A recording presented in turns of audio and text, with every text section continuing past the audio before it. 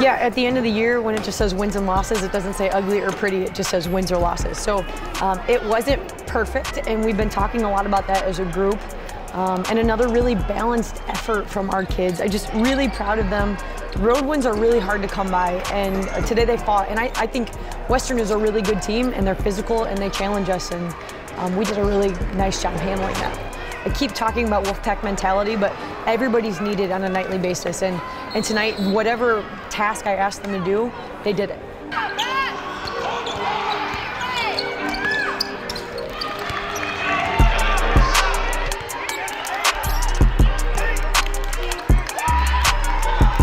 I'm, of course, I'm pleased about the balanced scoring, but I'm really proud of Kat tonight. Kat was running around out there guarding guards. She was defending a little bit out of position, and I thought she did a fantastic job with it. And then she also found a way to score and got big rebounds for us in the fourth quarter. Oh, it's awesome. We have so much momentum now. It's really fun going to practice every day, competing. So this is really good for us. Um, it's really hard on two days prep, but this is why we do it because in MVC play, you get one. So um, we'll take advantage of the two we've got.